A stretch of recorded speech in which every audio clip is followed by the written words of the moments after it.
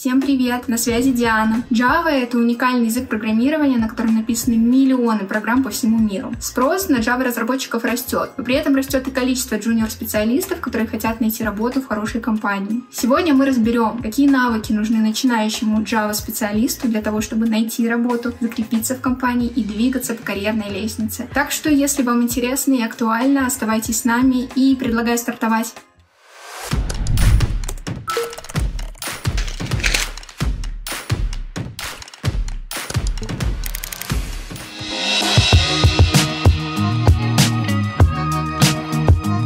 Первое и самое важное — это умение писать чистый код. Несмотря на то, что джуниор — это градация начинающего специалиста, любой работодатель ожидает, что вы уже умеете писать код, и важно, чтобы код был чистым и легко читаемым. И чем чище ваш код, тем быстрее старшие коллеги будут его ревьюить и давать вам обратную связь. А значит, процесс разработки не будет вставать надолго. Сейчас мы кратенько разберемся, что вообще значит чистый код и как к нему прийти.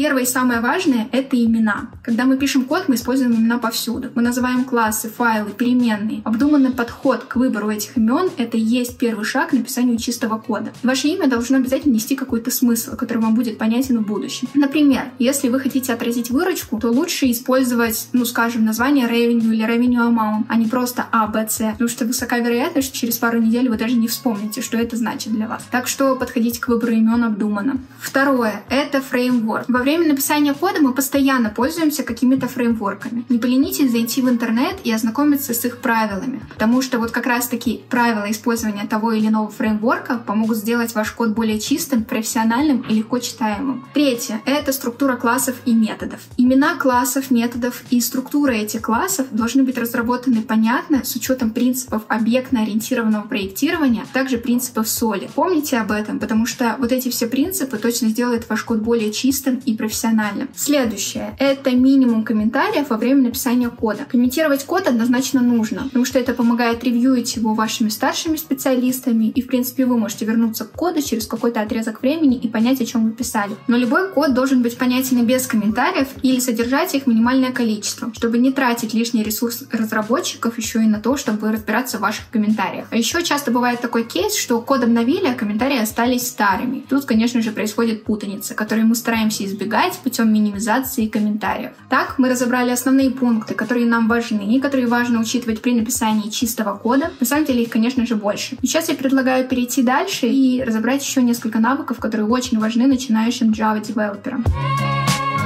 Следующий важный навык — это SQL. На Java пишут веб-приложения. Практически любое веб-приложение имеет базы данных. Любому Java-разработчику очень важно уметь с этими базами данных работать, выгружать что-то оттуда, корректировать или вычленять просто важную для разработчика информацию. Помимо каких-то основ языка, очень важно знать джойны и подзапросы. Кстати, на собеседованиях зачастую как раз-таки проверяют SQL наравне с профильным языком. Поэтому, если вы готовитесь, то я советую вам обратить на это особенное внимание. Итак, следующее это фреймворк Spring. Фреймворк Spring используется в большинстве современных приложений, написанных на Java. Он нужен для того, чтобы разработчикам было легче создавать и проектировать приложения. Без знания этого фреймворка начинающему специалисту будет очень трудно найти работу, потому что даже на этапе собеседований, как правило, работодатели просят показать какие-то примеры кодов, которые написаны с использованием этого фреймворка. Поэтому, пожалуй, добавим этот навык в число масс навыков для начинающего специалиста. Четвертое — это понимание принципов объектоориентированного программирования. Сначала чуть-чуть теории. Объектоориентированное программирование — это подход, при котором программа рассматривается как набор объектов, которые взаимодействуют друг с другом. ООП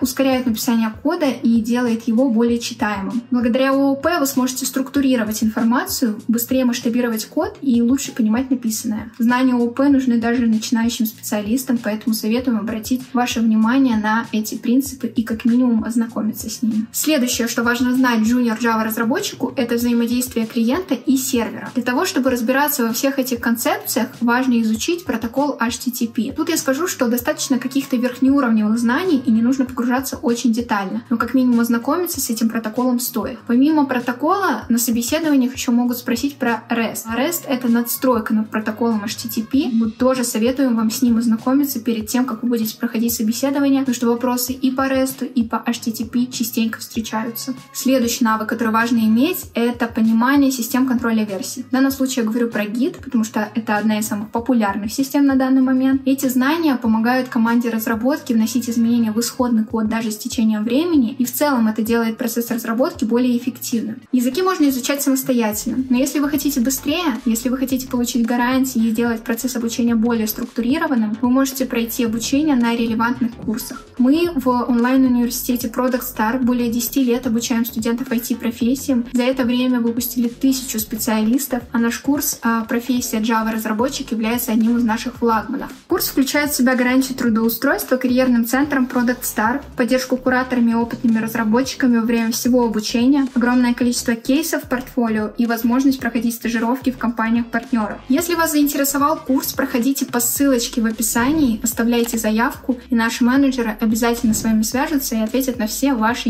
интересующие вопросы. Вот так кратенько постарались пройтись по основным навыкам, которые проверяют на собеседованиях на позицию Junior Java разработчика. На самом деле навыков больше, и они варьируются от компании в компанию. Мы постарались затронуть самые популярные. Надеемся, вам было полезно и интересно. Если вам понравилось это видео, ставьте лайк, подписывайтесь на канал и до новых встреч. Пока!